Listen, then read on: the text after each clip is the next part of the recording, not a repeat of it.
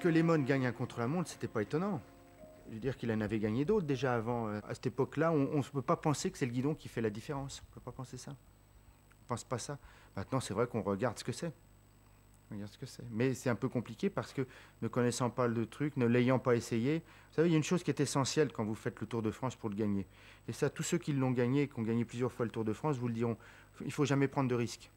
Pas de risque. En tout cas, avec le matériel, zéro risque. Pas de, pas de, pneus ou de boyaux trop fins qui risquent de crever. Pas de, pas de matériel nouveau, trop fragile pour pas que ça casse en cours de route au mauvais moment. Donc on ne prend pas de risque. Donc je n'allais pas prendre un risque d'essayer ce guidon en plein Tour de France sans savoir comment il fallait se poser dessus, sans l'avoir essayé auparavant. Donc euh, on a préféré ne pas essayer.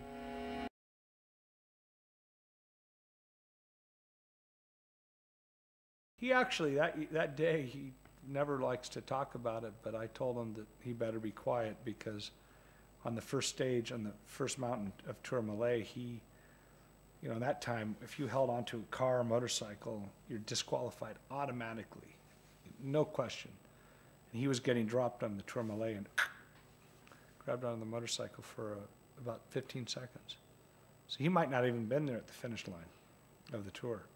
Lemon, il vient se plaindre après que je me suis accroché, soi-disant, mais si j'étais si mauvais que ça, euh, qu'il n'a rien fait, pourquoi n'a-t-il rien fait dans ces conditions-là? Pourquoi n'a-t-il pas attaqué?